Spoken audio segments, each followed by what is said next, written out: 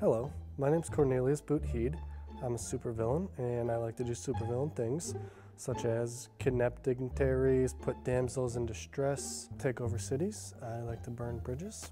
Maybe I shouldn't have said that on camera, but anyways, I'll keep going. In my spare time, I like to whittle children's furniture. I like to crochet and play badminton.